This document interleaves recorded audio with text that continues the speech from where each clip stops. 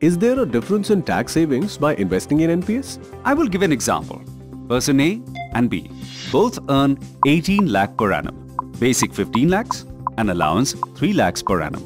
A doesn't take up NPS while B takes NPS. Tax deduction for person A is restricted to 1.5 lakh rupees in other instruments invested. Person B making own NPS contribution not only gets 1.5 lakh rupees deduction but for extra 50,000 rupees invested in NPS also gets additional deduction.